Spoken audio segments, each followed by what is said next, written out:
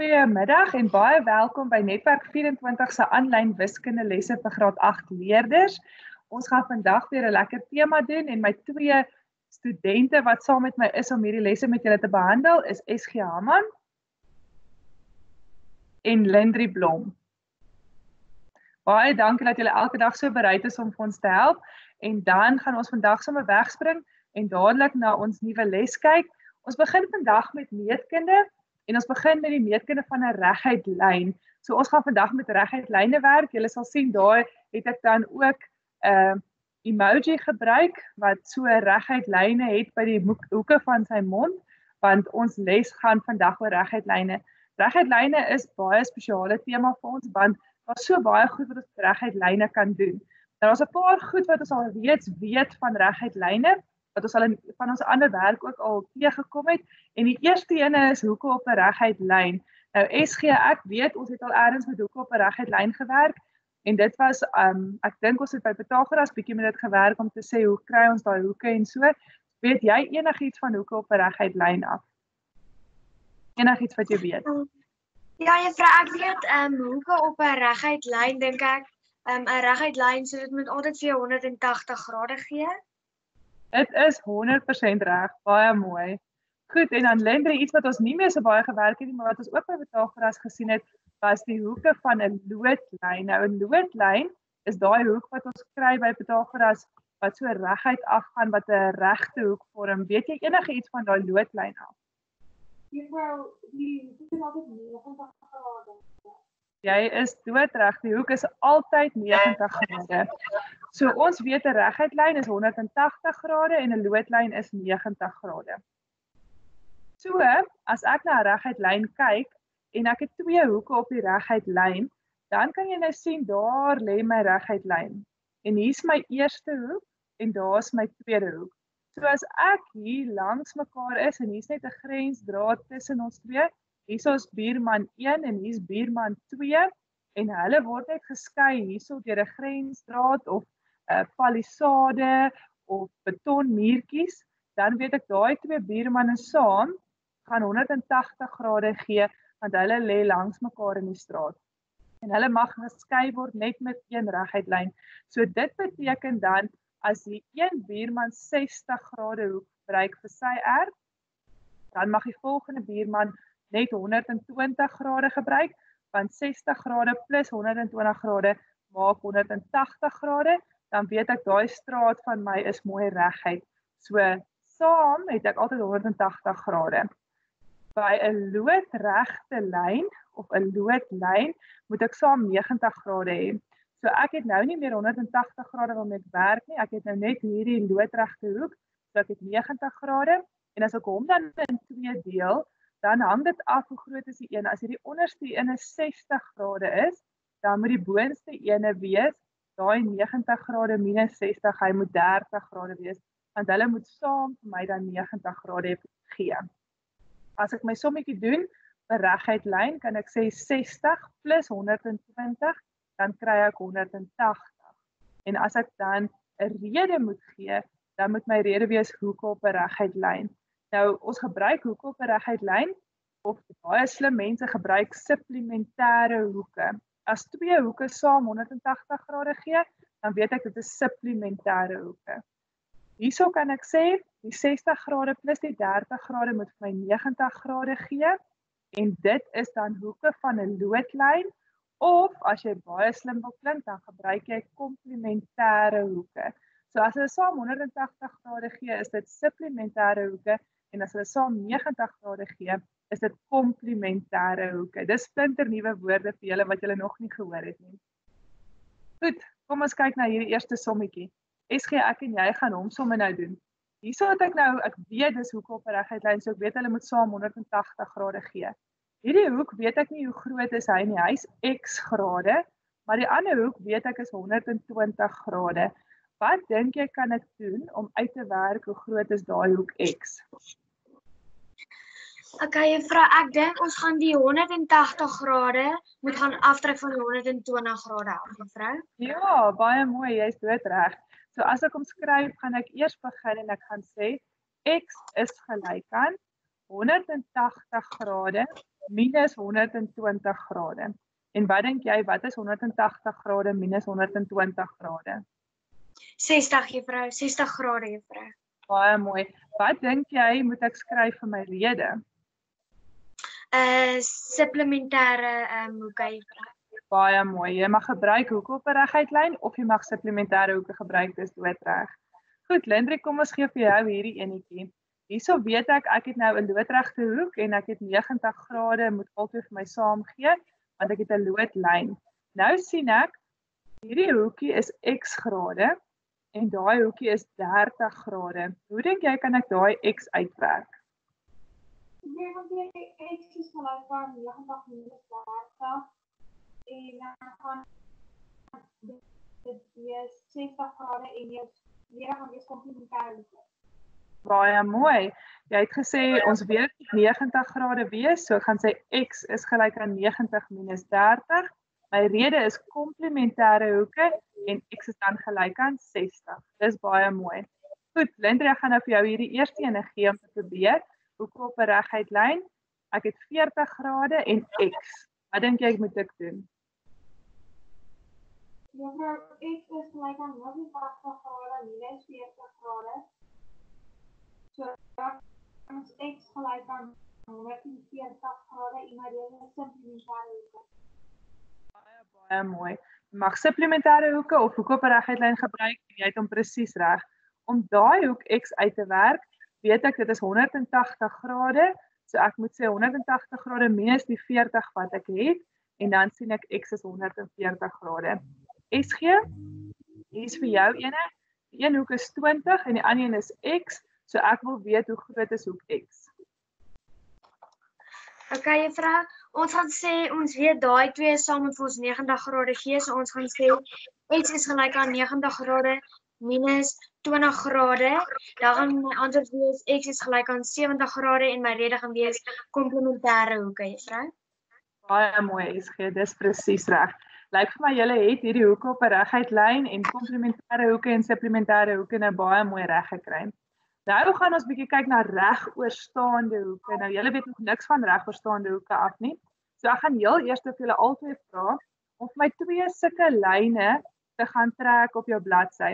Enige twee lyne wat jy het wat kruis met mekaar. Jy vat jou liniaal en jy teken twee reguit lyne wat kruis.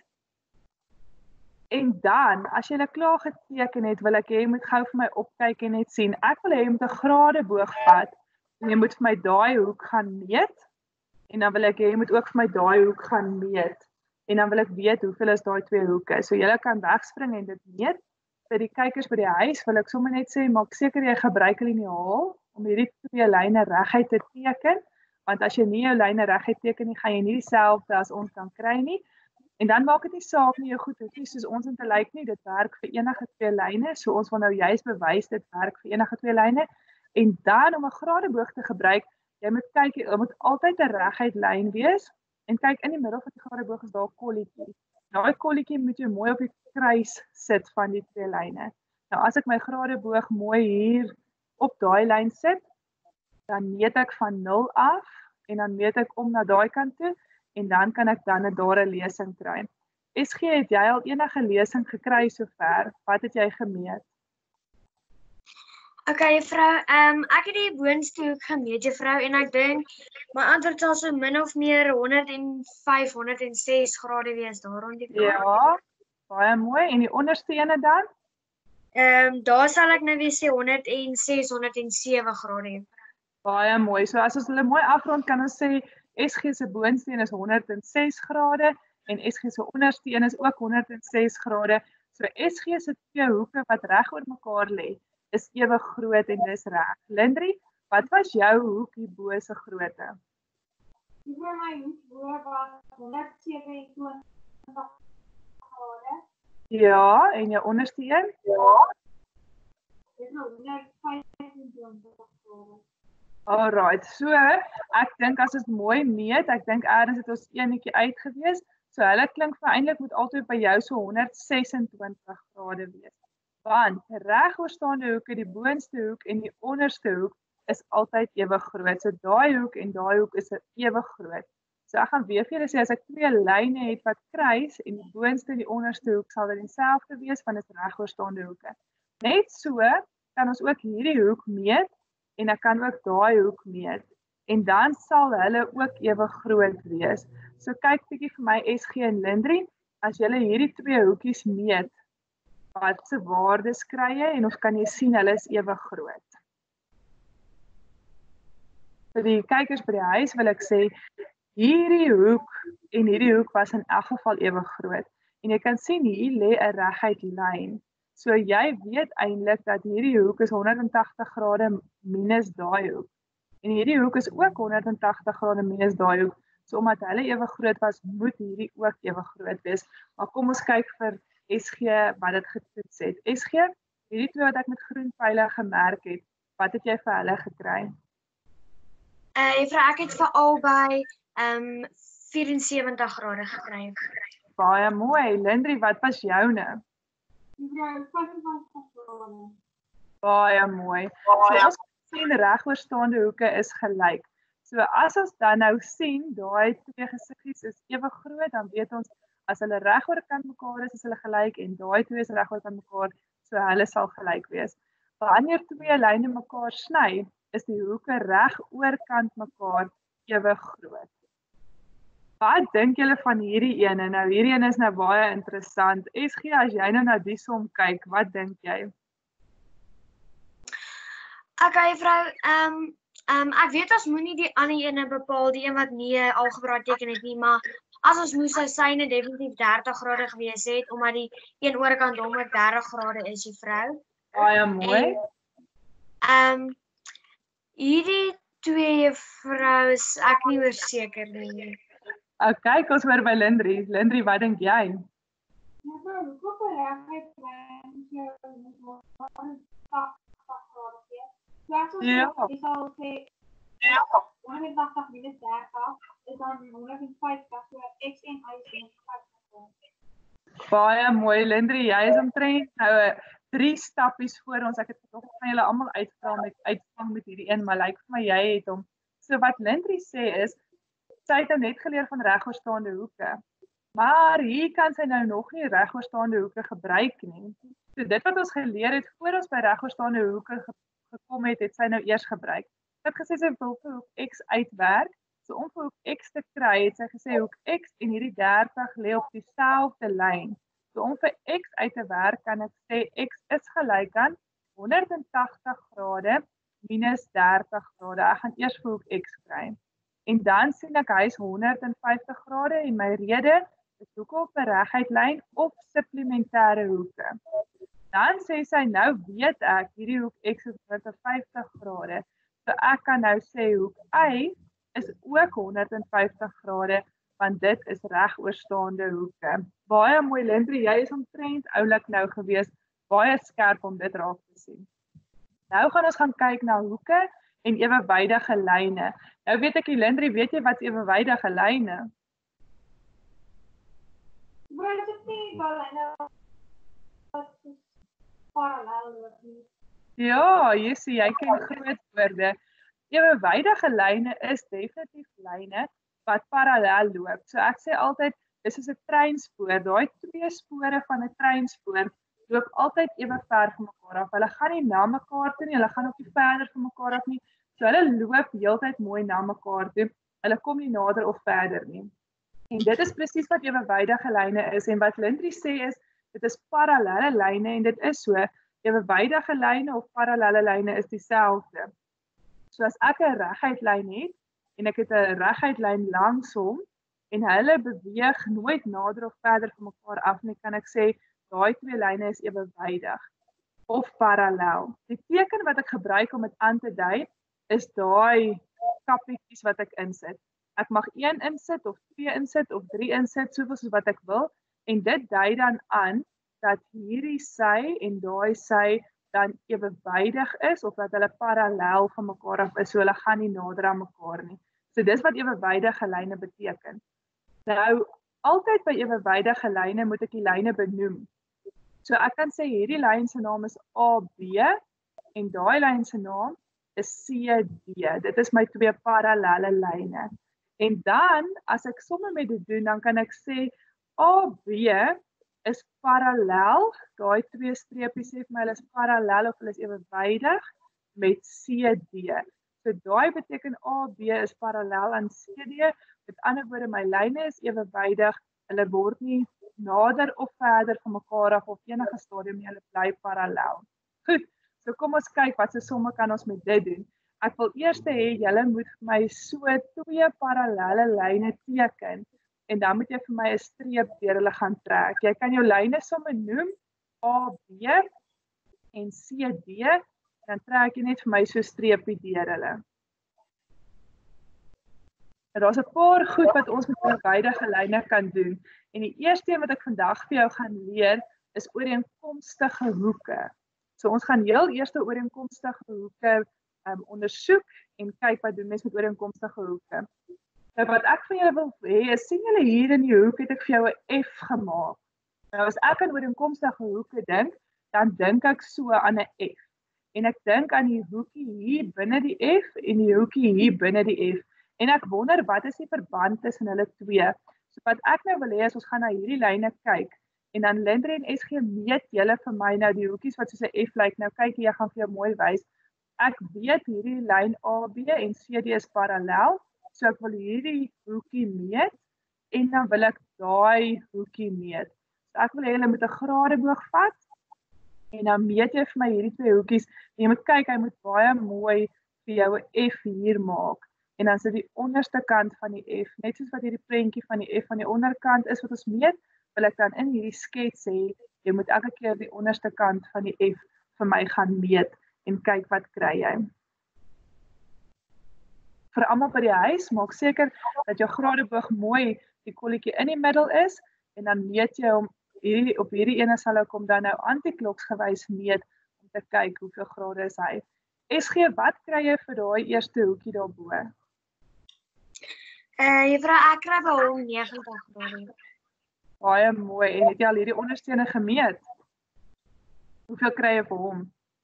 Ook 90 grade. Goed, so joune is dieselfde Lindri. Wat kry jy vir hierdie ene hierbo? 77 grade. En dan joune hieronder? Goed, so ons kan aflei hulle albei het hier en hier dieselfde gekry. So by ooreenkomstige hoeke is daai hoek en daai hoek dan gelyk.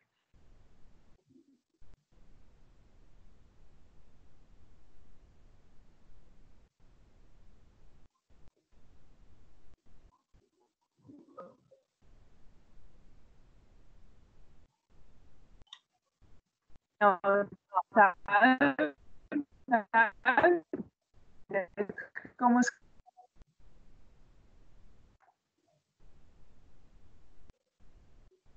het ons nou die ooreenkomstige hoeke gedoen. So wat ons nou hier wil doen is om te sê ek wil weet hoe groot is hoek X. Nou SG, kan jy vir my sê hoe groot is hoek X daar?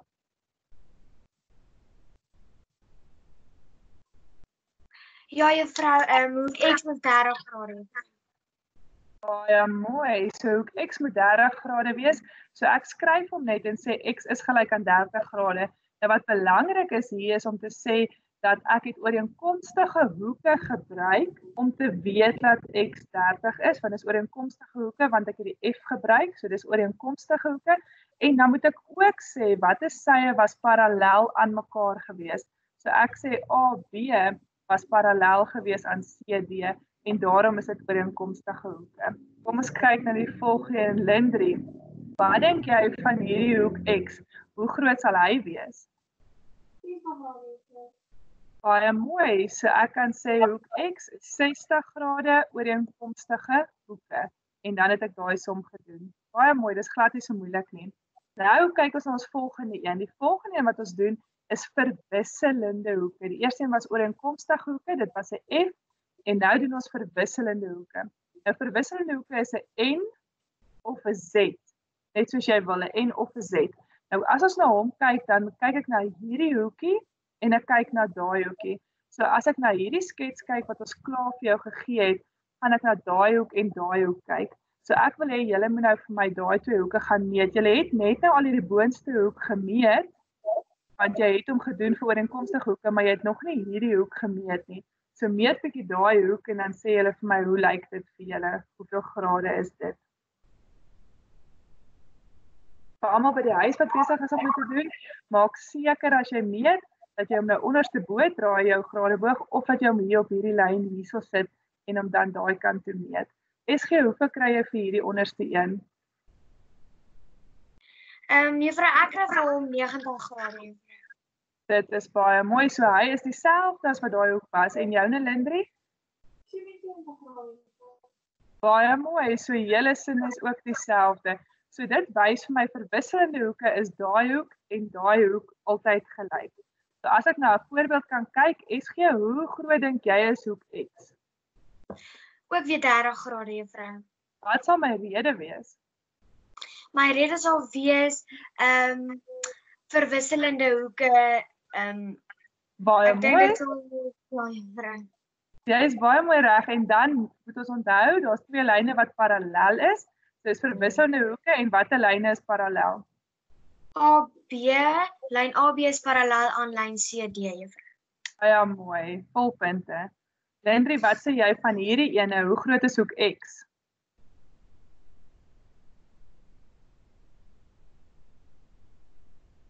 Dit lyk ook soos 40 grade, nê? Nee? Ja, is. Mooi en dis verwisselende hoeke en AB is ewewydig aan CD.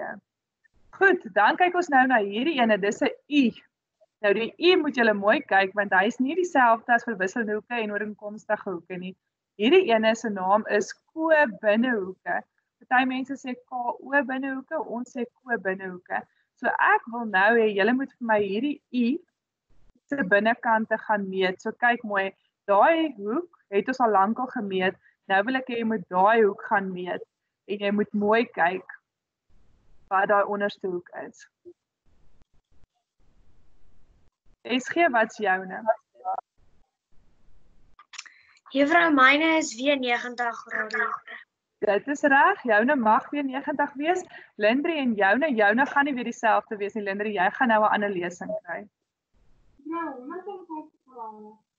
Ja, want jou vorige was 75. So nou het jy 105. So omdat joune 75 is en 105 is, as ek dit bymekaar tel, kry ek 180 grade wat doodreg is. En SG sinne was 90 en 90. En as ek hulle bymekaar kry, kry ek ook 180 grade. So KO binnehoeke of ko binnehoeke soos wat ek sê, wys vir my as hierdie ek hierdie hoek het, kan ek hierdie hoek kry deur te sê 180 grade minus hierdie ander hoek. Hierdie twee hoeke moet saam 180 grade gee en dan moet ek ook onthou om te skryf AB is ewewydig aan CD. So kom ons kyk, hy gaan nou interessant wees. As ek 30 grade hier het, is hierdie een nie 30 grade nie. Hierdie een is 180 minus 30 grade.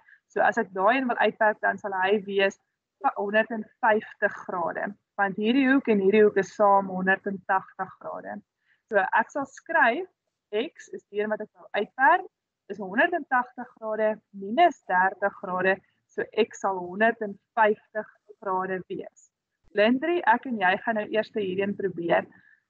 Hoe groot dink jy is x? Juffrou 100 grade. Ja, want x kry ek deur te sê 180 grade minus 80 grade. My rede is ko binnehoeke en saam met ko binnehoeke moet ek sê AB ewewydig aan CD en dan 180 grade minus 80 gee vir my 100 grade. Mooi Lindri. SG, ek gaan nou vir jou vir die opsomming vra. Wat dink jy van hierdie F? Watter rede gebruik ek as ek F gebruik? Ehm um, juffrou um, Jy mag raai. um, Ooh, ehm Dit kan of dit kan of verwisselende hoeke wees of dit kan ko-binnehoeke wees of dit kan ooreenkomstige hoeke wees. Ehm ek dink dit is ooreenkomstige hoeke nie, juffrou. Is dit nie verwisselende hoeke nie, juffrou? Wat dink jy Lindri, wat die ene wat is daai eerste ene? Ooreenkomstig. Ja, ons het vir SG uitgevang met hierdie een. Die eerste een is ooreenkomstige hoeke SG. SG nou is weer weer. Dis weer weer. Wat dink jy van hierdie ene? Die ene wat Dit is- Dit is daai ko binnehoeke. Is dit die Ja, dit is. Dit is. Jy's dood reg. Dis my En koe dan binne. die- Ja, en dan die ander een is wisselend ehm die wissel wisselkomstige hoeke. amper dit is verwisselend baie mooi. verwisselende hoeke ja mooi. Verwisselende hoeke. Lindri wat is baie belangrik as ek ooreenkomstige hoeke o binnehoeke en verwisselende hoeke gebruik wat moet ek nie vergeet nie? Jy net daai so sien net maar A B C. Ja. is parallel. Dit is jy's dood reg. Ek moet altyd skryf A B is ewewydig aan C D. Nou wil ek vir jou vra SG ek hou daarvan om jou vas te vra lyk dit vir my sê vir my hierdie ene is daai twee hoeke gelyk of is hulle saam 180 grade die ooreenkomstige hoeke Hulle is gelyk, juffrou. Goed, en ko binnehoeke is hulle gelyk. Ehm nee, juffrou, hulle gee saam 180 grade. Baie mooi en dan die verwisselende hoeke, wat weet jy van hulle? Hulle is gelyk, juffrou. Baie mooi.